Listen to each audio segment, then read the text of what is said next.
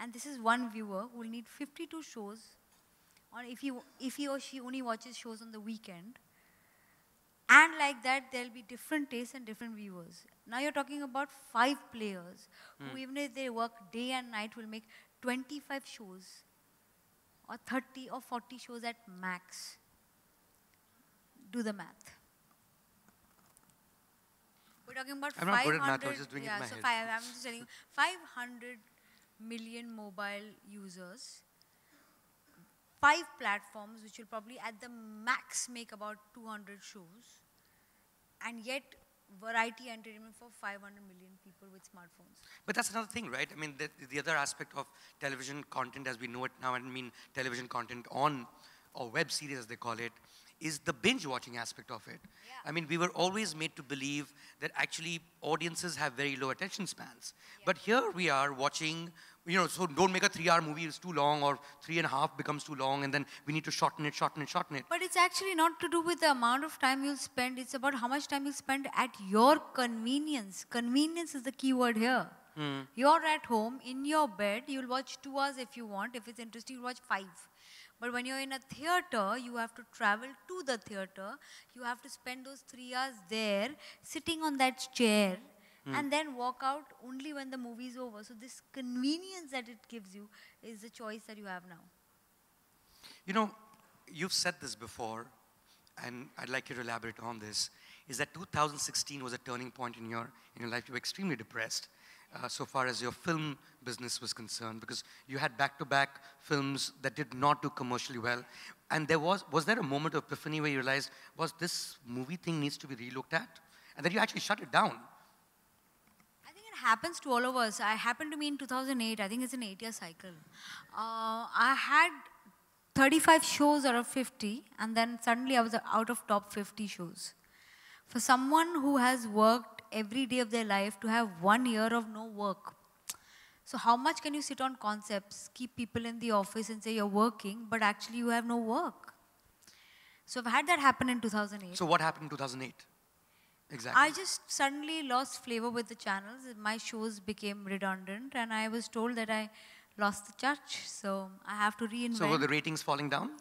Actually, the systems changed. The, now, like there's BARC, there was another system, and that changed and went Okay. into smaller towns where cable connections were new. So the old shows, who were going on for four years, were no longer being watched because they couldn't catch up with the story. So many reasons, but basically, I lost flavor and I was out of favor, and I was clearly told that I don't know television anymore, and I had to work and create and recreate and rework and realign. 2016 was sad because the two films that were theater dependent, where you don't have any pre-sales, both one didn't do well and the other one uh, got leaked, Mm. and that caused me a lot of losses. Because when Which a one are you film, talking about? Um, Grand Masti Right. and Udta Punjab got leaked, and um, But Grand Masti did well, right? no, it didn't. didn't, okay. It didn't because it was out on people's mobiles 40 days before the release. Mm.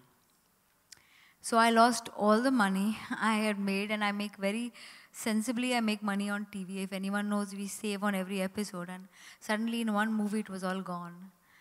And um, so that made me realize that uh, you can have a bad year, but it never really took away my beliefs because I, I of course I had to go through various boards and sit on that board table and speak about the fact that I promised never to make films because I clearly don't know how to make films. But I said the same thing in 2008. And you really will have those years again where you think you can't do your job well, but that doesn't mean you don't do your job. You keep doing it. You show up at work every day and uh, one day hope for the tide to change. Was that the point where you took the decision to start Alt Balaji?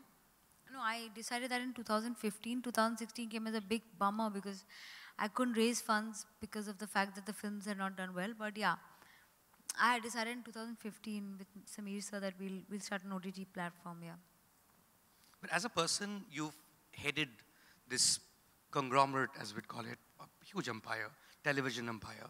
Um, we see people walk outside your building, and it's half a temple to begin with. So I, I can imagine why everyone is praying before a they temple go. inside, so It- there is a tem- that, there is yeah. a temple, right? There's an actual temple out there. Now, um, and you've been your own boss since you were 17. You were running your own company since you were in your teenagers.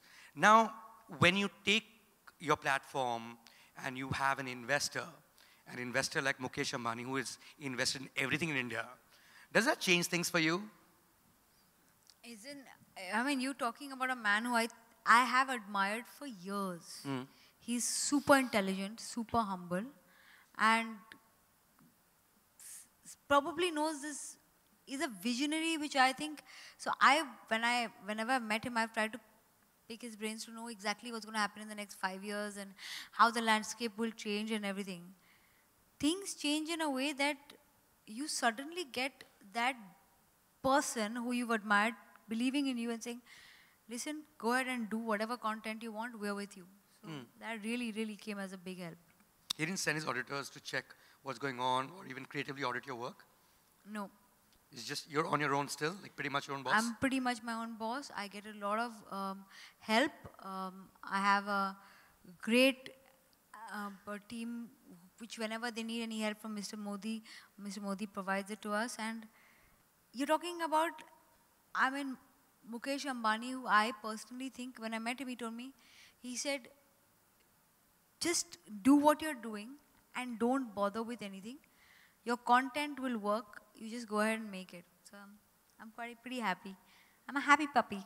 You are, you are. I mean, so when you look back at your career, and it's been, while in terms of years it may not be so much, but in terms of the output, quite clearly, even right now you're like dealing with 50 things at the same time.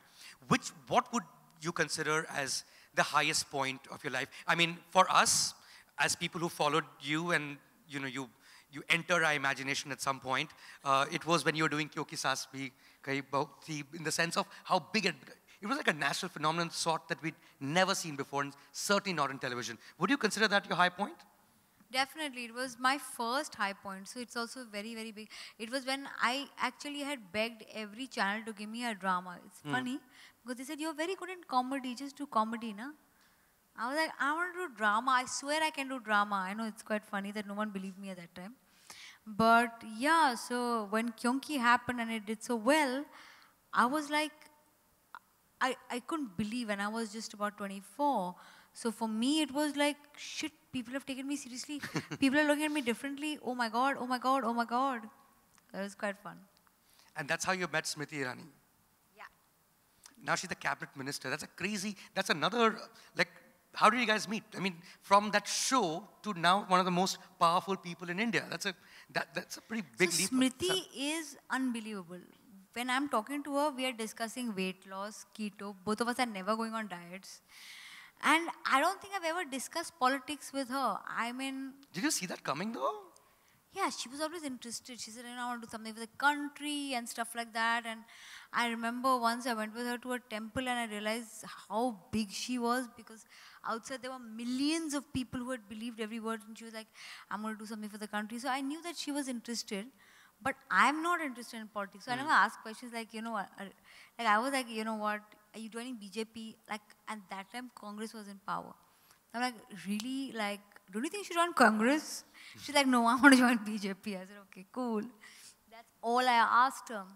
And then when she was being sworn in, before that I wanted to do Kyonki again with her. And she said, you know what, I, I'll do it if you want. I said, yeah, but I can't. I have a job here. So I said, you know what, and then suddenly I hear that she's become, and she called me up. She said, I can't do Kyunki. I said, I just saw you being sworn in. I was like, oh God. So it was interesting, but she's not changed at all. Like I still, my conversations with her, people can't believe. You know, when she became the I&B minister, the first thing I called up her up and said, I said, oh my God. She said, why? I said, I can never call you up about and whine about movies anymore. Hmm. Because that door has shut for me. And I won't do it because it'll compromise you or me. I got so many calls at that time. And I used to tell people, I said, you know what, she's a friend, I can't make this call. Right. So you do it yourself, or no, but you know her. Just tell her not to see this film. I said, I can't. It's just not. Don't compromise me in this Right. situation. And we would be like, like let's discuss diets because now we can't even discuss the films we like. What about Vidya Balan? I mean, you cast her in Hum Panch back in the day. Did you see that coming, that, that journey that she took thereafter? Vidya is very funny. Vidya did Hum Panch, after which I used to see her in Siddhi Vinayak, and every time I asked her, What are you doing? She said, I'm studying. I was like, How many years are you studying? She would be studying all the time, every year. Now I'm going to do one more degree. I'm like, Oh, one more degree. I said, Wow. I can't even spell those degrees that you've done. And then one day she told me, I'm becoming an actress. I said, Thank God. I'm doing a movie. I said, Very good. Then again, we worked together in Dirty Picture. Dirty picture, of course, of course. And But in that sense, in that sense, the number of people that you would have launched through your shows, I mean, I'm sure you don't even remember most of the people who who starred—and then given the number of them that you've done on television, and then of course you've done films too, and then OTT. Now it's it's a whole industry that you created, what is now called the TV industry, which is a TV type. They're also they've also been typecast in a certain way. Oh, he's a TV type of person. Was genuinely created by you. I, till now you were complimenting me. Now It's a you have just, industry, No, this TV type of person I have not created. I swear. But you know what I This mean? Like, Versova has created. well, they live in Versova, but they all work for you. Uh, okay. Oh, they have. I'm going to keep shut at this moment because I'll be sounding politically incorrect. Are there, are there any interesting people that you remember uh, who you, you met, who you cast, and then you saw them go their own ways in terms of how big they became? So there's this guy, he was always quirky in meetings and he sit in front of me and one day he took a, he said, ma'am, do you believe in Krishna? I said, yeah. He took a, like a wire and he turned it around and said, here ma'am. So I'm like, uh, what's this? And he said, this is Krishna. So I said, really? And he said, yeah, Krishna's in any form, na? And I looked at his face and I said, what's your name? And he's like, um, Anand Gandhi. And I was like, I don't know where he will be, but he'll be somewhere one day. And he made Ship of Theseus. Right. I really, uh, I mean, I don't want to say much, but he was an interesting person. I remember him quite clearly. Any others you can remember? So all of them who've done well, of course you remember. You remember all the actors who've done decently well in life and are now big. Um, but yeah, there are some some not so interest, not so successful ones also you remember because um, you've landed up becoming friends with them. But I don't want to take their name because then it's like Sure. No, that. there is, well, that's another thing, right? Uh, we're talking about Versova, and it is primarily seen as a film industry place where people are aspiring to be in films. Do you think essentially they've used television as a stepping stone because there is a belief that when you look at someone on TV, you only remember the character, the actor never becomes big. Is that a myth? I think it's a myth, but it's a myth that needs to be broken by talent and by actors also. I think should take a little bit of risk. TV usually is taken on by most actors who, uh, after some time, stop innovating in their own roles and they become so happy with the character that they're playing that after a couple of years, if the show ends, they feel that they've made enough money. Now I'll do something similar. So I think it's got to be a two-way street. I mean, we do not get to see actors anymore that get to do and do different roles. I mean, uh, you see Mona, she's done Jassi, now she's done Ye Meri Family, she's done Keneko. So she's taken that initiative to do different roles. You see Sakshi's done stuff like that, she's done Dangal. But a lot of others don't really take that initiative, yeah. So I think they, they want to be stuck in a cocoon, you know, comfort zone is a great place, but nothing grows there. Do, they, do you think they also get so used to you?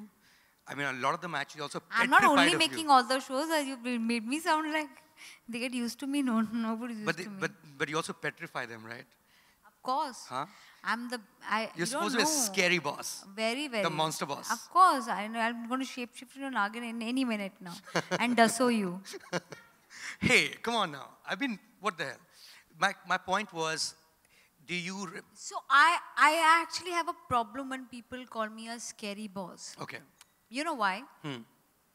So I used to be, I thought, a passionate producer. Hmm. Of course, I would lose my temper.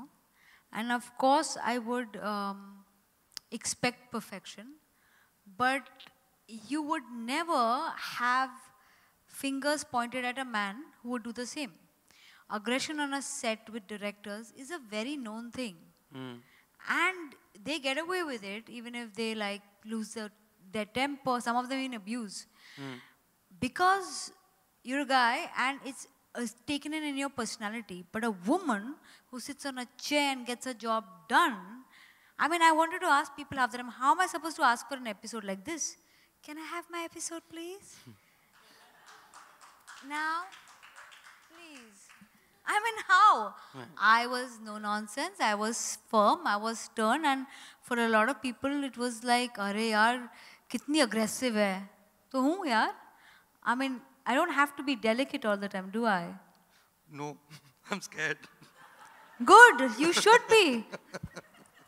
But that's not true, Ekta. You know, there, there are these stories about, about guy bosses too, and, you know, people are petrified of them. Like Vidhu Vinod Chopra famously, like, you know, bit into somebody's hand but and stuff but like that. but you know, I've never been to any. No, no, you hand, haven't, right? My Yeah. teeth are very soft that way.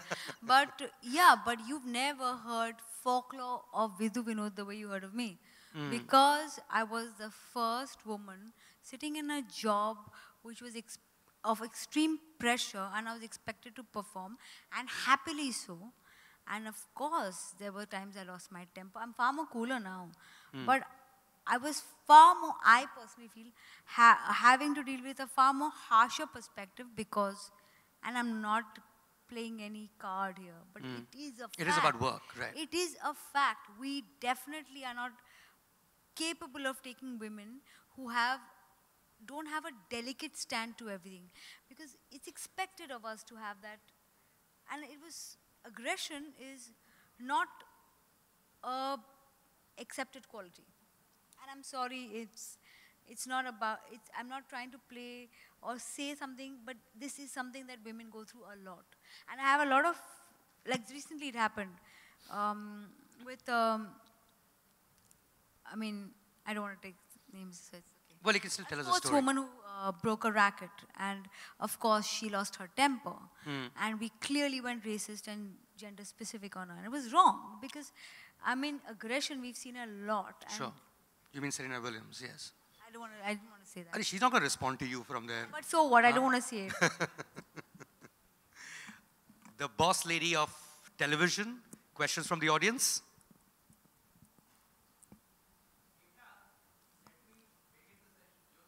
Hi, Jyoti. You want to take the mic, Jyoti? You know, recently I went to an Alt Balaji party for XXX where I was disappointed that you didn't turn up for the party. Yeah. The question is not that, but uh, whether you whether you made that as a film, but because of the censor problems and you couldn't get a slot, that's why you converted conveniently it into a Alt Balaji series. This is a convenience I have with me. What I can't make into a TV show, I can make into a web show. What I can't make into a web show, I make into a movie. So yeah, that I did. But um, yeah, there was it was pretty bold, and I didn't want to go through the um, yeah the censor rigmarole. So I did definitely launch it as a web show. And in future, how are you going to dabble with all web series, TV serials, feature films, and whatnot are going to come? This is my fun space. I love stories, and the story decides which medium it wants to go to. So I'll have fun doing them, and then we'll decide the medium later. And also, you're planning to go to Another party? Hollywood? Yeah, I'm dressed, shouldn't I? You know, speaking of uh, Triple X, and there's a reason why we didn't discuss the censorship aspect of it, because the more you discuss it, some nutcase will have a problem and, Yeah, you know, I- screw I- up the medium. actually, yeah. I'm- I'm yeah. very worried about But, that, but yeah. can I ask you a question? In that Triple X, is it actually, there's actually a person whose penis talks to him? Yeah. Oh, there is. Okay. So there's a talking penis in, uh, in Triple X, and at the end, this woman he meets, whose vagina talks back. Hi, Ekta, towards the back. Hi, this is Priyanka. Ekta, I wanted to know that when you uh, made foray into films, did you feel that uh, the image that your uh, TV shows had created for you, uh, people did not take you seriously as a film producer? So yeah, so when I first made drama, I actually got a chance when I, by, by a South channel. No Hindi channel gave me a chance. So when I got into films, I knew I have the ability to understand how people are perceiving me. ये सास बहू बनाती है इसको तो कुछ आता नहीं होगा so when I met Dibakar, I said, just give me your most quirky film. And he said, no one will back it. Because you know what, I don't want, I said, just make me hear it. And I heard, I said, I love it. I want to do it. He said, how will you work out the finances because no one will buy it? I said, I'll do it on my own. Uh, but this is the film I want to, because I knew it that at any point of time, if I, I didn't want to go into a large family film because it would look an extension of what I was doing on television, and that's something I didn't want to do. I think what you'll end up doing, Ekta, eventually, uh, and of course you have a long career ahead, is when we look at your work from film to television OTT now, it'll be impossible to tell there's one person behind all of this. Whether there's an LSD, it's a Shor in the City, it's a lipstick under my burqa, it's a कहानी घर घर की you know क्योंकि सास भी बहू थी talking पीनस it's impossible tell there is the same person I mean you are clearly like multiple personalities in one